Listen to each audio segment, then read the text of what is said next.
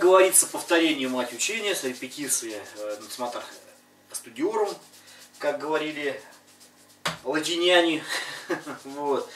И, собственно говоря, первая часть э, всей самой программы, то есть первый семинар, который мы проходили, был посвящен э, двум разделам, а это Макивара Стартинг и Макивара Бегинер.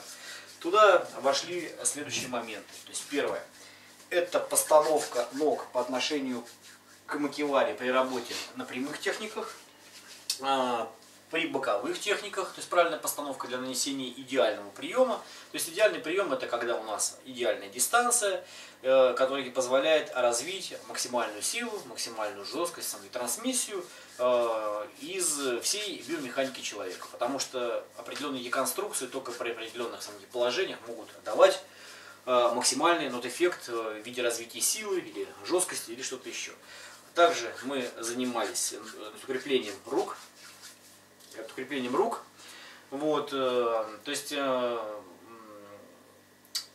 прежде всего кистей.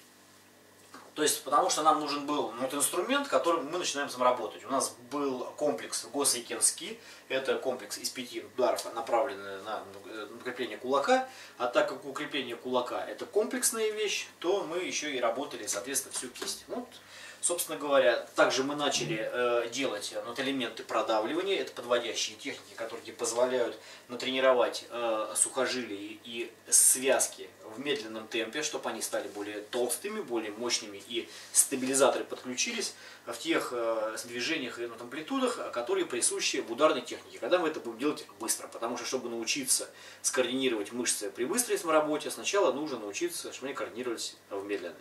Ну, вот, собственно говоря, вот на этом все и было заложено. Потом, когда продавливание мы прошли, мы стали делать э, уже э, вот, имитацию медленную удара с, с разных амплитуд. То есть э, с, это почти прямой руки, со среднего положения, с дальнего расстояния.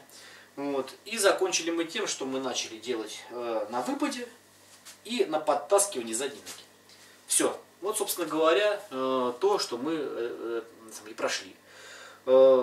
И, соответственно, сейчас надо посмотреть, что, какой прогресс, что у тебя получилось после того, как ты этим ну, прозанимался в то время, пока у нас был, был, был вот интервал между первым семинаром и вторым.